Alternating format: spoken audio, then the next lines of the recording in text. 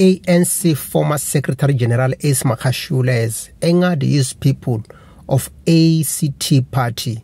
This is after Magashule appointed his son-in-law to be the only member of Free State Legislature. The complainants say that they've worked so hard to gain numbers during the voting season, but Magashule decided to take his son-in-law to be the only person to go and represent the party in legislature. They say he didn't go by the list. He violated the list. Then he plays his son-in-law, and that is nepotism. You will remember how Ace Magashule was expelled from ANC. This is after the step aside the resolution was applied upon him. He refused to step aside, therefore, he was forcefully removed and expelled from the party.